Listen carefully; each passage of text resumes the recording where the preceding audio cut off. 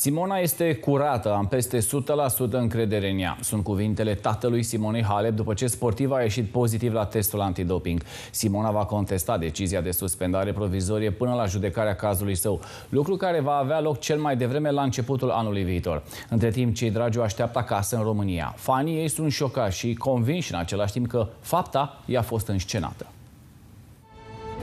Simona Halep se pregătește de cel mai greu meci al carierei.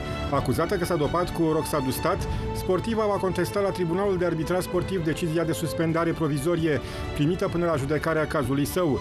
Halep a fost depistată pozitiv în urma unui control antidoping făcut pe 29 august, după un meci pierdut în turul întâi la US Open. Simona este acum în străinătate, iar familia o așteaptă acasă. Nu cunosc, nu sunt medic, sunt un simplu tată și atâta tot. Simona e curat. Peste 100% am încredere. Eu uh, spun că speranțele sunt de 100%, da?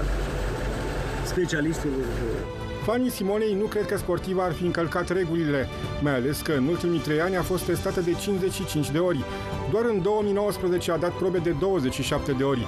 Cifrele din 2022 nu sunt încă disponibile. Din ce am citit, e foarte posibil, pentru că nu-și folosește doctorii personali, uh, nu respectă niște reguli, dar nu știu dacă e așa sau nu. Nu, Doamne ferește, nu există așa ceva.